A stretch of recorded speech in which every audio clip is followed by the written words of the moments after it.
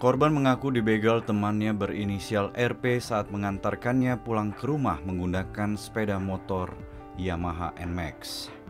Kapolres Labuan Batu AKBP Deni Kurniawan mengatakan penangkapan pelaku berawal dari laporan korban berinisial M ke Polres Labuan Batu, Sumatera Utara. Kejadian bermula saat M dan RP bertemu di Jalan Ake Pahing sekitar pukul 23 lewat 30 menit waktu Indonesia Barat. Pelaku meminta diantarkan pulang ke rumahnya karena tidak ada merasa curiga korban kemudian bersedia membonceng pelaku untuk diantarkan pulang. Saat di perjalanan pelaku tiba-tiba menodongkan senjata tajam ke perut korban.